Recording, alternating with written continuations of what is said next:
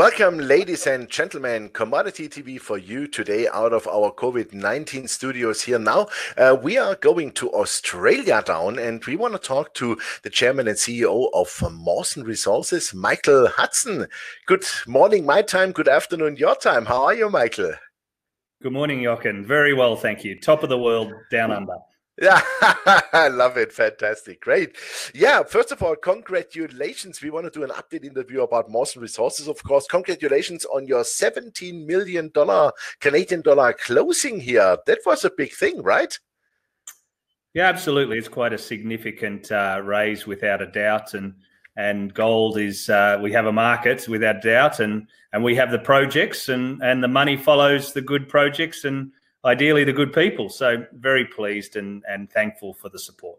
Yeah, fantastic. Before we come, what you are doing with the money, we maybe should talk shortly about your projects and what has made uh, also a lot of institutions uh, coming into this financing. And it was also led uh, by Sprott and Red Cloud, which are significant players in the scene. And I saw in your presentation that also like Orano is still a significant shareholder. And now you have over 60% institutions. So what made them now to really come in? I guess you had some fantastic uh, uh, exploration results. You are yeah heavily underway in Finland, of course, and also in Australia with the Victoria projects. So maybe you can comment and uh, summarize that a bit. Yeah, so so Mawson's a, a Toronto-listed company, gold projects, as you say, in Finland and Australia. Mm -hmm. The Finnish project uh, we've been working on for a number of years. Most of the work's only gone in the last three years. It's a it's a resource-based project, so we started from first principles, and it's pivoted from exploration to resource expansion. And, and we can see that growing to quite a significant project. So we've just finished a 14 kilometre project there, uh, some superb results continuing to flow beyond and uh, from the resource base that, that we delineated back in December 2018. And, and that's ready for a resource upgrade. So that's the foundation for the company. And, and then we've added some new Australian projects within the head frame basically of Fosterville, which is the the highest grade, one of the most profitable gold mines on earth at the moment, and and so that's the new optionality. I think uh, is the way that investors looked at it. So a, a two pronged approach. Mm-hmm. Fantastic. Um, let's stick. Uh, let's stay shortly in Finland. I saw that you also have cobalt, and I think uh, cobalt is also uh, quite well mentioned in your presentation. So, what is the case with that? Does let's say Finland will want to come back into the cobalt market? As I think one of the yeah of the of the largest refineries uh, are approximately 400 kilometers away from your projects, right? For cobalt. You've done your research, Jochen. That's very true. Finland. I tried to. Is, Finland is deep in the cobalt supply chain. Cobalt is only a byproduct or a potential byproduct from this project. It mm-hmm. adds about 10% uh, in situ value. So mm-hmm. gold is 90%, cobalt is 10. But it's a critical uh, project for Finland and for Europe. It's one of the few, literally you can count on one hand, compliant 43101 resources for, for cobalt. And if Europe uh, wants to play a, a, significant role in the e-revolution, um, they want to they want a supply chain that's ethical and sustainable. And having something from their backyard, of course, is is much better than lots of other places on earth. So so it's a very important project uh, strategically, politically, uh, with that cobalt addition. But that being said, it is the gold that drives this project financially. Mm-hmm. Fantastic. Um, yes, and I can imagine, as I'm a shareholder also of BASF, and this was also mentioned uh, in your presentation, I could imagine that uh, companies like BASF they want to source uh, not only ethical but also environmentally friendly their cobalt, and I think it makes absolutely sense if you have it just in front of your door instead of transporting it, uh, let's say, around the world to process. Then, right? And so uh, I could imagine there will be for the future a lot of interest. So now with 17 or 18 million dollars, what uh, is stated in your presentation now, um, what you're going to do next in Finland? A drill, baby, drill. and uh, that's a simple uh, way to create value in our business. So, so we we had around 400,000 ounces in December 2018 in a resource that we quoted then. That was initial or maiden resource. We've now tripled the drill meters into that. So we've uh, we we had 15 kilometers of drilling in that initial resource. We've now got 45 kilometers into those resource areas, and that's where this resource upgrade will come from.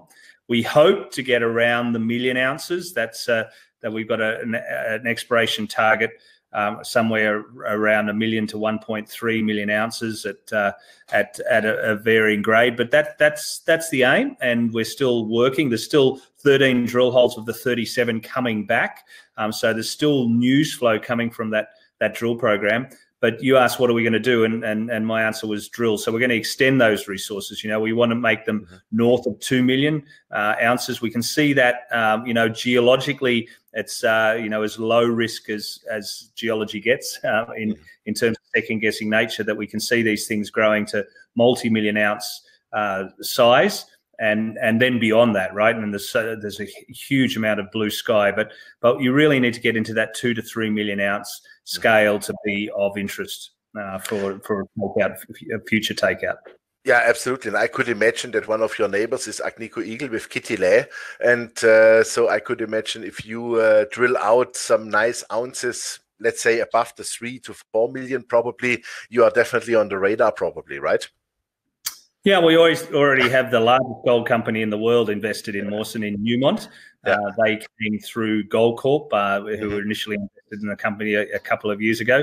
So a- absolutely, that's our that's our market. Um, but it's our job to make it uh, as attractive as possible, as uh, and and there's many characteristics that make uh, the deposits that we're finding up in Finland uh, just very much right for for that in the next few years. Mm-hmm. Uh, maybe also for the understanding um, for our viewers, um, when you explore, do you go, let's say, automatically for gold and cobalt, or do you have different approaches for the metals? How does that work? Or does the cobalt just come with the gold? The last option is is probably the most correct. Uh, the the cobalt adds consistency and some width to the gold cobalt zone, but it's it's certainly all within. So it's all if if this is ever going to be a mine, you could see the gold where you can mine it will be contain the cobalt. There's some on the flanks. There's cobalt rich areas where we don't get the gold, but we don't think they're economic in their own right. You need both together to yep. to make it. They're, so they're pretty intimately associated. Mm-hmm. How much uh, is drilling in Finland? Is it very expensive, or how do you calculate it? How much is a meter? How does it work? Uh, it's it's quite cost effective actually. we we've got uh, many contractors. They're very good, very efficient.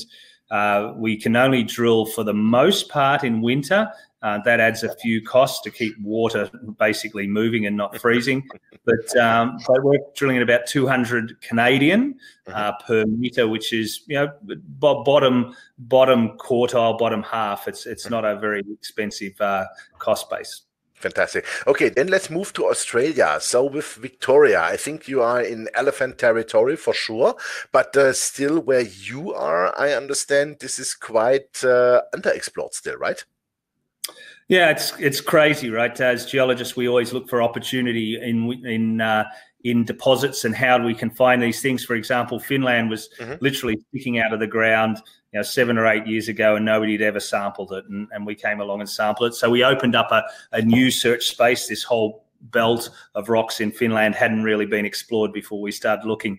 Now in, in Victoria, that's not the case. There's been 80 million ounces since the mm-hmm. 1850s. It was it was basically these goldfields that built Australia, and uh, there's one of the super giant orogenic gold uh, belts in the world. Um, it's mm-hmm. it's it's it's one of the big ones.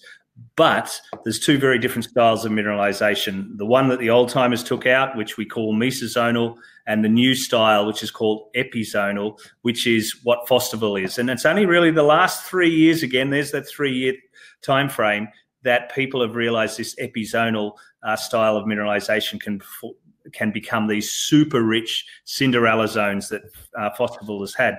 And, and literally, there's a number of these ore fields, which we've got a number of them um, within and around Fosterville that haven't been looked at below 50 metres. So the search mm-hmm. space is these high grade Cinderella zones going to depth that haven't been looked at uh, despite 80 million ounces and 150 years in one of the mm-hmm. super giant uh, mm-hmm. uh, terrains on Earth.